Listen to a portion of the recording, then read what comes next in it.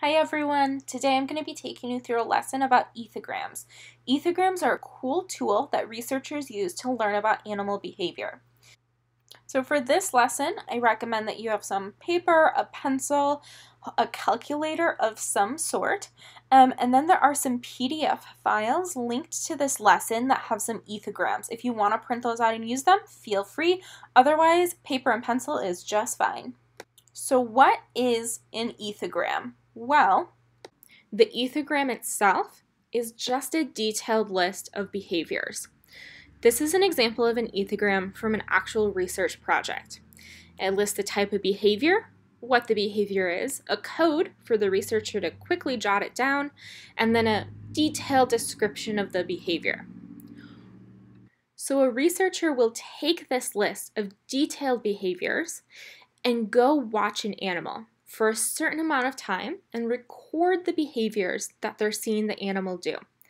For example, this ethogram from the London Zoo divides the researcher's time by 30 seconds. So every 30 seconds, the researcher will jot down the behavior that they're seeing an animal do. Researchers can then take that information about how an animal is spending their time to answer questions. So from an ethogram, we can look at this chart that was made about Rhesus macaques, which are a type of monkey. We can see that Rhesus macaques spend their most time foraging. That's that bit in green that's so big. And foraging means looking for food. Then we can see by that bit of red that's also quite large that Rhesus macaques spend a lot of time resting or sleeping, usually in social contact. So researchers can use ethograms and this information to answer a lot of cool questions. For instance, how would the monkey's behavior change with a large crowd at the zoo? They would redo this ethogram and compare the results to see how that behavior would change. Ethograms are typically designed to be specific to a research question. For instance, the Rhesus macaque ethogram that we just looked at, those behaviors were specifically chosen for those monkeys. However, this is a basic ethogram designed from the Lincoln Park Zoo that's accessible to really any animal and any situation. So with this ethogram, the researcher records behavior every 15 seconds using a very basic list of behaviors. These behaviors are feeding, is the animal eating or drinking? Socializing, is the animal interacting with another animal? Self-groom, is the animal grooming? Active is the animal running, playing, walking, etc. Inactive is the animal sleeping or sitting. And then we have not visible. Is the animal someplace you can't see them? Or other. Is there a behavior that's happening that's different from what I already mentioned? All right, now that we know the basics of an ethogram, we're going to put our skills to the test with a real animal. We're going to watch videos of my cat Lola and make a practice ethogram.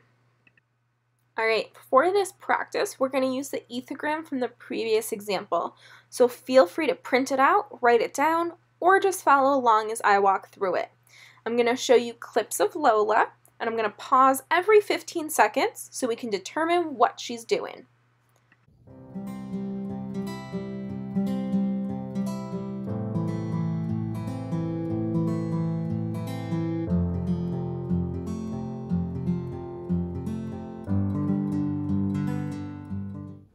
Alright, that was 15 seconds. Lola is sitting, so we will mark inactive in the first row.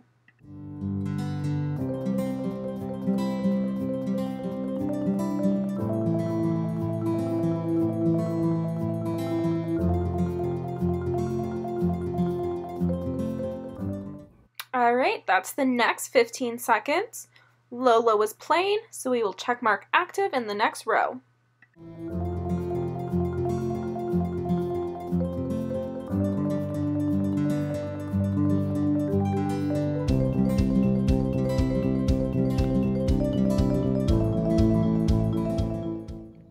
All right, that was 15.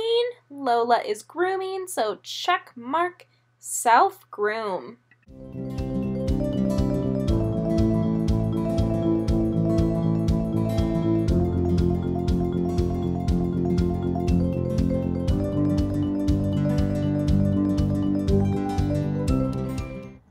All right, Lola is playing with my cushion um, so that counts as active. So our fourth and final check mark can go in the active column. All right, awesome. We have an ethogram filled out. Now the tricky part is, how do we share our results? Do you remember that Rhesus macaque pie chart from the beginning of this lesson? We're going to learn how to make one of those. So, first we need to add up all the marks in the row. So looking at ours, we have one self-groom, two active, and one inactive. Then the next step is to divide those numbers by the total number of intervals. So for ours, we had four intervals, so we're going to divide one by four, two by four, and one by four again. The final step to get our results is to multiply those numbers by 100 so that we get the percentage spent for the behavior.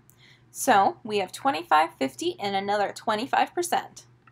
Now that we have our percentages, if you would like to make a pie chart like the one we saw previously, feel free. I made one so you can look at it. We took our numbers, put it into a pie chart. We can see that Lola spent 50% of her time being active, 25% being inactive, and 25% self-grooming. All right, now that we've done one ethogram together, it's time for you to test out your ethogram skills by yourself. We have a short clip of a dog playgroup. I will mark on the screen every 15 seconds. Go ahead and pause it and then mark down the behavior, what's going on. Some clips do have multiple dogs in them, so just focus on one and mark their behavior. You can either use the ethogram that we used in the previous example, or we have this special dog ethogram just made for this. So go ahead, choose an ethogram, here's the video, let's see what results you get.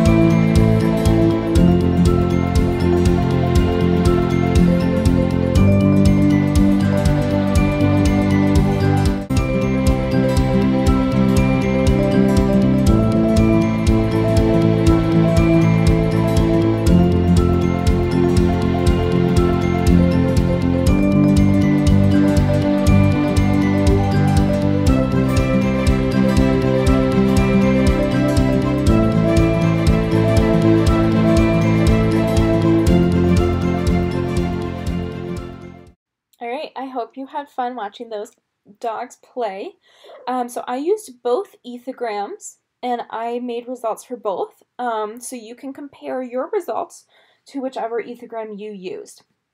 For the basic ethogram, the one we used with Lola, I found that the dogs were social, um, interacting with each other socially for 70% of the time, and then we're active solo for 30% of the time. It's okay if your results don't look like this. Um, results are super dependent based on what dog you chose to look at um, or the exact moment you chose to record behavior. So don't worry if your results are not the same.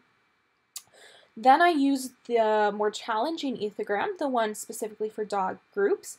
Um, and so I found that there were positive interactions 70% of the time, there was water play 20% of the time, and then some interaction with the camera 10% of the time.